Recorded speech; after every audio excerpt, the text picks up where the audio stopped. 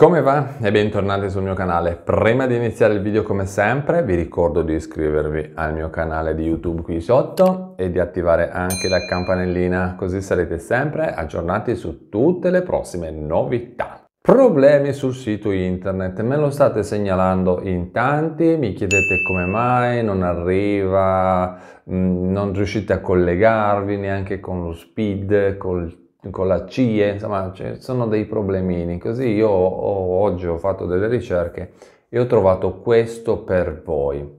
In questi giorni molti mi state appunto segnalando sotto i video con dei commenti che il sito internet dell'Inps era praticamente bloccato e non riuscivano ad entrare. Ma niente paura perché il sito internet dell'Inps ha sempre funzionato molto molto bene e probabilmente sono solo dei disagi o dei disservizi momentanei legati proprio al maggior afflusso di persone che stanno cercando informazioni e che stanno accedendo proprio al sito internet dell'Inps.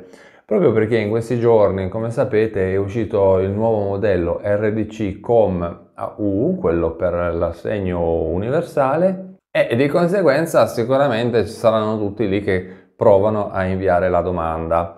Io vi do un piccolo consiglio che magari potrebbe essere utile visto che mm, l'ho sperimentato anch'io in prima persona.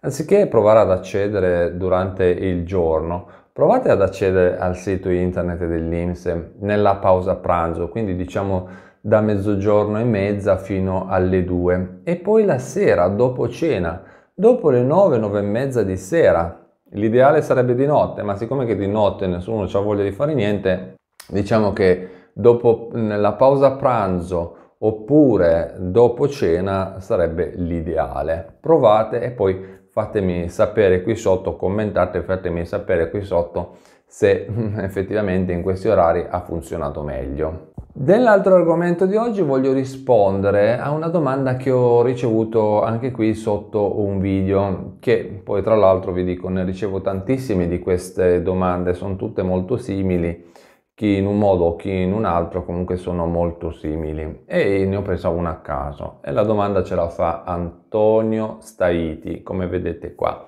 Ciao Luigi, buongiorno, una domanda. Il bonus 200 euro ai pensionati invalidi civili e percettori di RDC. I 200 euro gli vengono accreditati il primo di luglio assieme alla pensione oppure il 27 di luglio quando caricano la carta RDC?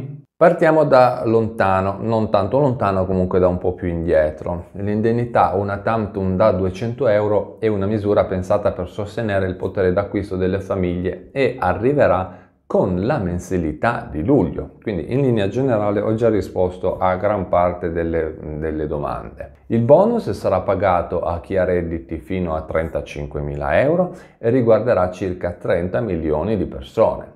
Le modalità di pagamento variano a seconda dei casi e dei destinatari e così oggi vediamo cosa fare per ricevere il bonus.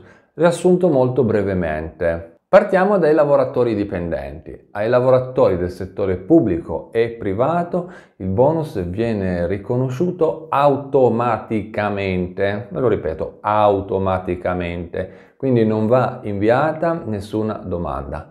I 200 euro arriveranno in un unico pagamento direttamente con lo stipendio di luglio. Pensionati. Ai pensionati sarà direttamente l'INPS a pagare l'indennità una tantum da 200 euro con la mensilità di luglio. Poi abbiamo i lavoratori domestici. L'indennità una tantum è stata, lo sapete, ampliata anche ai lavoratori domestici e l'INPS dovrebbe occuparsi di un servizio per la raccolta delle domande al quale si potrà poi accedere tramite lo SPID la Carta Nazionale dei Servizi, CNS, o la Carta d'identità elettronica, CIE.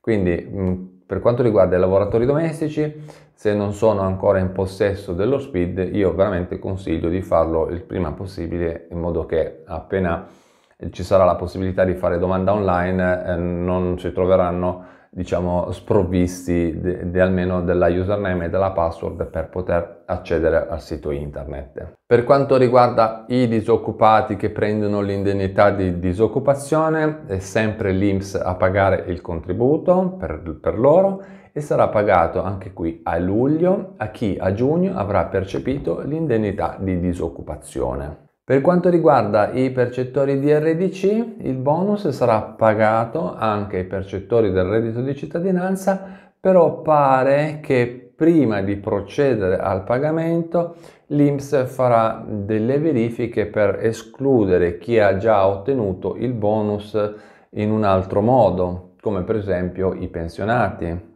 L'altro argomento di oggi riguarda sempre il reddito di cittadinanza di maggio non pagato. Che fare? Il 27 di maggio è iniziato il pagamento del reddito di cittadinanza e i pagamenti sono andati avanti fino alla fine del mese di maggio perché le, lo sapete, ve l'ho già detto tante volte, le poste italiane hanno, avevano o comunque hanno tempo fino all'ultimo giorno del mese per terminare tutte le ricariche dei pagamenti. Ma ci sono stati però dei mesi in cui questa regola non è stata proprio presa alla lettera, diciamo che hanno pagato un po' come volevano loro, senza una logica che io in prima persona non, ho ancora capito. Quindi se dal primo di giugno non arriverà la ricarica RDC, allora avrete bisogno di andare in una sede provinciale dell'Inps per capire cosa potrebbe essere successo. Probabilmente ci sono stati solo dei problemi con la vostra pratica, nulla di che, oppure non è detto che si tratti di una revoca, ma per esempio potrebbe essere il caso, non so, faccio un esempio, che ci sia stata una sospensione per una verifica su alcuni dati reddituali o patrimoniali e quindi l'unico modo per capire qualcosa e capire che cosa è successo è quello di parlare direttamente con l'IMS, quindi con un dipendente dell'IMS oppure andare, tramite un CAF.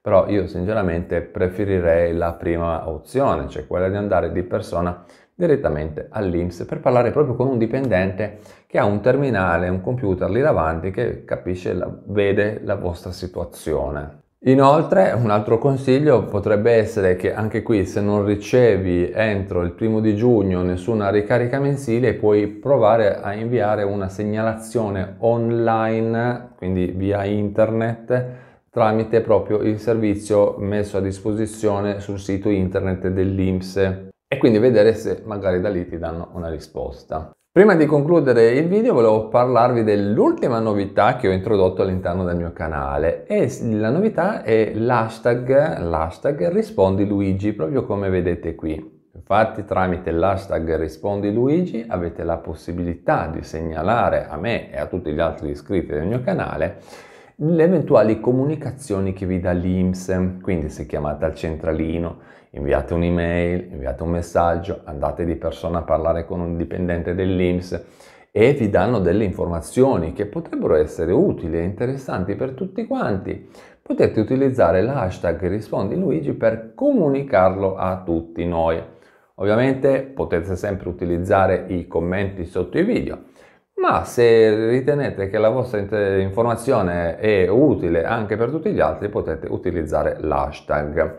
E poi cosa succede? Succede che io prendo questi messaggi, quelli più importanti, quelli più rilevanti, e li utilizzo per poi pubblicarli all'interno dei video, quindi mh, mm, possono essere utilizzati per comunicare anche agli altri quello che siete venuti a scoprire direttamente dal link. Con questo è tutto, ti ringrazio per avermi guardato, ti ricordo che se hai altre domande puoi commentare qui sotto e eh, ricordati di iscriverti al mio canale, di attivare anche la campanellina così sarai sempre aggiornato su tutte le prossime novità. Ci vediamo in un prossimo aggiornamento sempre e solo qui sul mio canale di YouTube. Ti aspetto, ciao!